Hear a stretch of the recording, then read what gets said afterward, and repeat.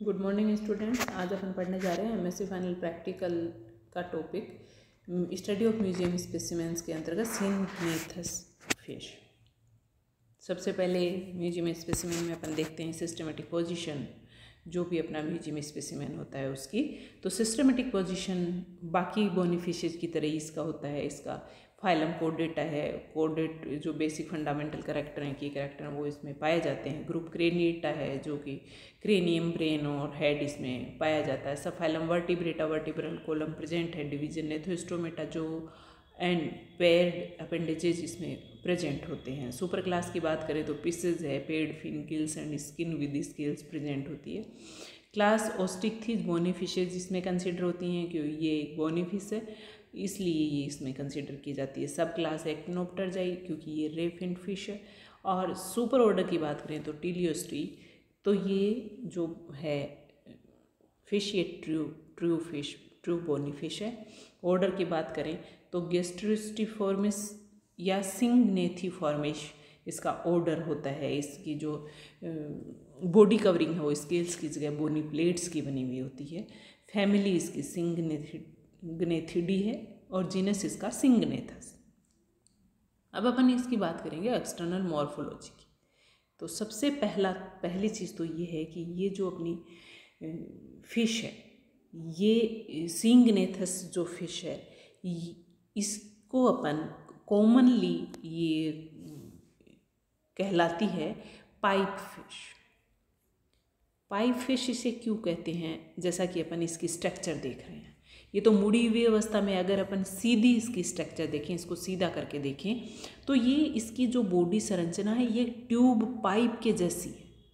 ये एक पाइप जैसी जैसी इसकी संरचना होती है। इसलिए इसको अपन कहते हैं पाइप फ़िश टोटली ये पाइप जैसी होती है।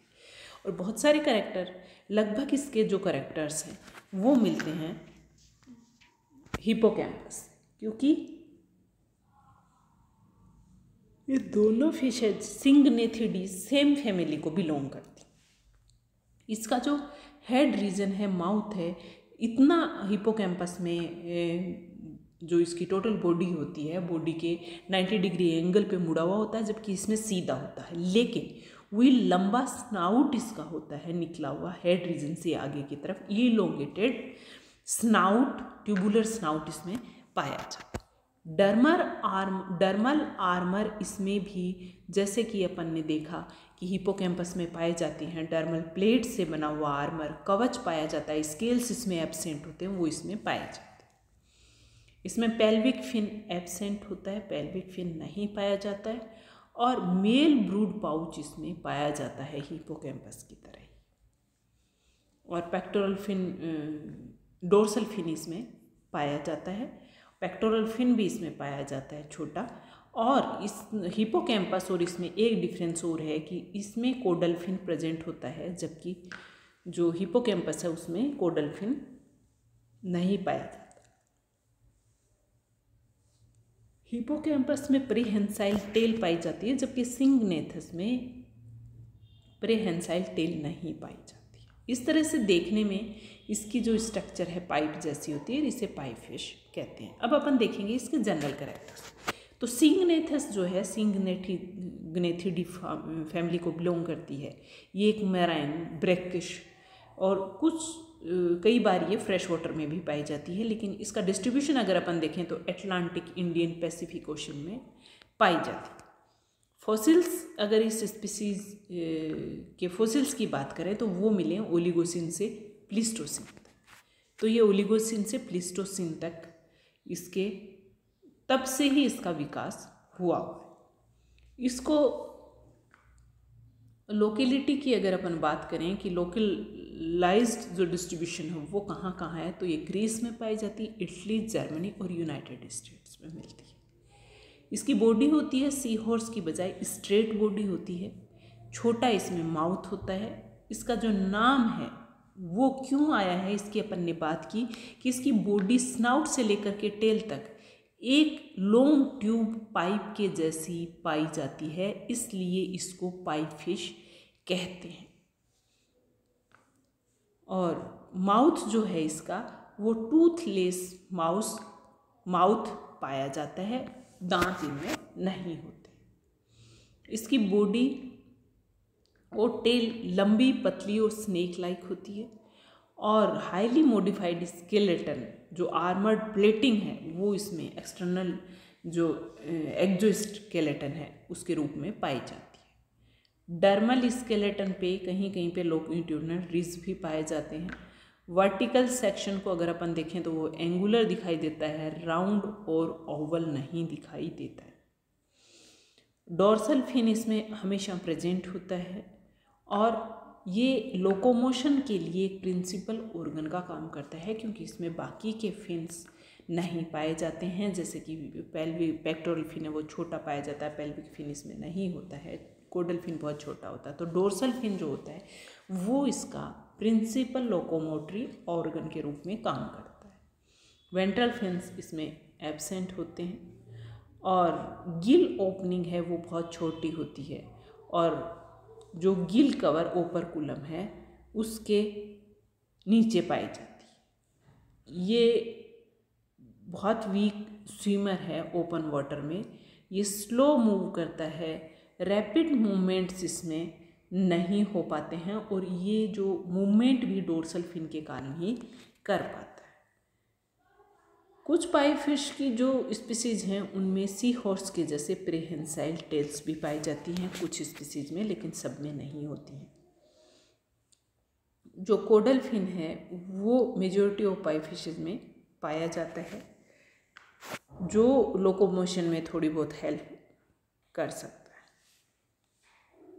ये जो कुछ स्पीसीज ऐसी होती हैं पाई फिशेज की जिसमें मोर डेवलप्ड कोडल फिन पाया जाता है और उस ग्रुप को इकट्ठे रूप से कहा जाता है फ्लैग टेल पाई फ़िश जो कि कुछ स्ट्रॉन्ग स्विमर हैं स्लो स्विमर नहीं हैं फ्लैग टेल पाई फ़िश जिसमें कि बड़ा कोडल फिन पाया जाता है।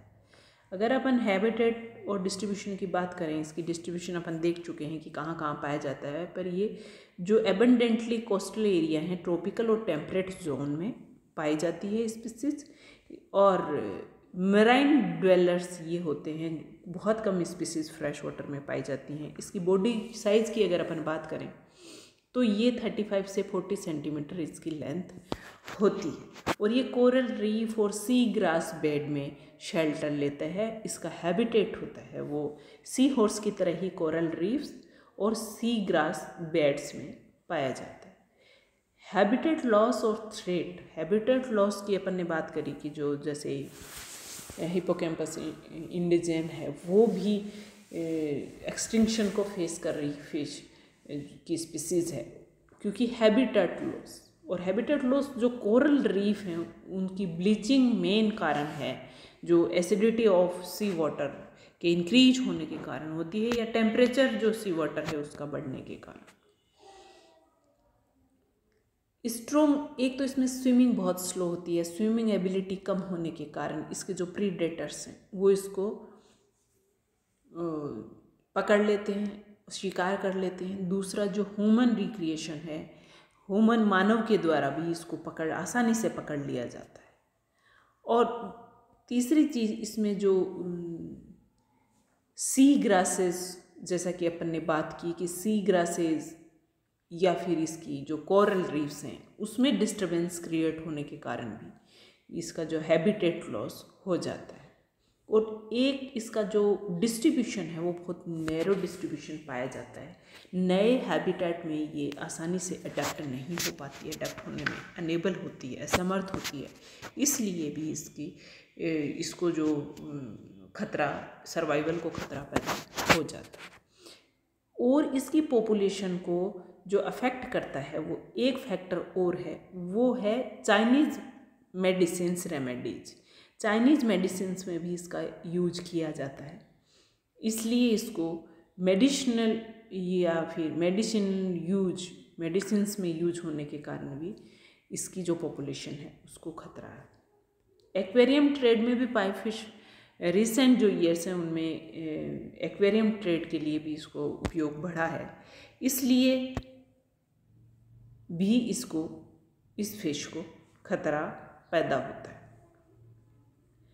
और अगर इसके रिप्रोडक्शन की अपन बात करें तो रिप्रोडक्शन रिप्रोडक्टिव बिहेवियर जो है, वो सी हॉर्स के जैसे ही इसमें पाया जाता है। जो मेल होता है, वो पेरेंटिंग ड्यूटी पूरी करता है पेरेंटिंग ड्यूटी निभाता है। और क्योंकि इसमें मेल में पोस्ट जाइगोटिक जो केयर है ऑफ़ स्प्रिंग को, वो मेल के द्वारा प्रोवाइड करवाई जाती है। मेल में ब्रूड पाउच पाया जाता है और उसके ब्रूड पाउच में ही जो पोस्ट जाइगोटिक जो डेवलपमेंट है, वो होता है एडल्ट बनने तक। और फिर मिनिएचर जो वर्जन है, एडल्ट बन जाता है, वो फिर जो ओपनिंग है ब्रूड ओपनिंग उससे बाहर निकल जाता है। ब्रूड पाउच जो है, वो डोर्सल फिन के ऑपोजिट साइड में पाया जाता है। फीमेल जो होती है, वो ओपनिंग स्मॉल ओपनिंग जो पाई जाती है ब्रूड में, उसके द्वारा एग से वो डिपॉजिट कर देती हैं और वहाँ फिर स्पम के मिलने से फर्टिलाइजेशन कंप्लीट होता है और जो मेल होते हैं, वो जो एक्सट्री कवरिंग है मेल जो होते हैं वो इसको कवर कर लेते हैं। अपने ब्रूड पाउच को, जो ओपनिंग है, उसको बंद करके रखते हैं, फिर अंदर जो एम्ब्रियो है, उसका डेवलपमेंट होता है। कोटशिप जो इसमें होती है मेल और फीमेल पाइप फ़िश में, वो थोड़ी लंबी होती है और कॉम्प्लिकेटेड होती है। और इसका जो डिस्प्ले है, इस दौरान इसको मानव के द्वारा पकड़ना बड़ा आसान हो जाता है। ये भी एक कारण होता है कि जो ब्रीडिंग सीज़न है, इसमें इसको इसकी पॉपुलेशन जो है वो कम हो जाती है क्योंकि बहुत आसानी से ये कोर्टशिप में बिज़ी होते हैं और कोर्टशिप जो डिस्प्ले है वो इनका लंबा चलता है और कॉम्प्लिकेटेड होता है। तो कोपुलेशन के दौरान इनको पकड़ना बड़ा आसान होता है। कोपुलेशन में जो है वो दोनों ही मेल और फीमेल्स के द्वारा डांस परफॉर्म किया जाता है। रिंगलिंग शेकिंग मोशंस उसमें पाए जाते हैं। और इस